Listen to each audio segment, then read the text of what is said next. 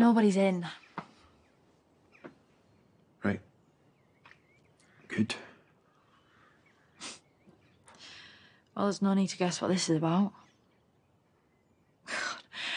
I knew Charity wouldn't keep her mouth shut for long, but less than a day. So it's true then.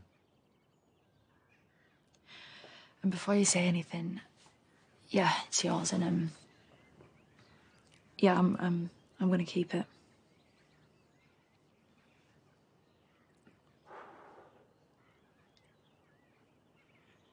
Chloe, I can't. Chloe, I can't have. Ah, I can't have this baby with you, man. It's gonna destroy everything I've got with charity. What? What on earth were you thinking? Did, have you never even heard of a morning after pill? Oh, well, I don't remember you calling round with one. What? What? It didn't cross your mind? Kind of same way a condom didn't.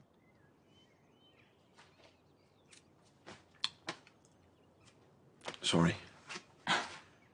Like, I have. Do you actually want a, a kid? Like, have you thought about this?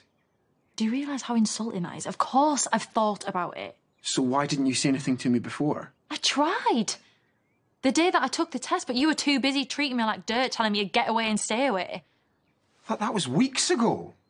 Yeah, well, I guess I got the message. I didn't want to be accused of harassing you. But You didn't think about trying again, no?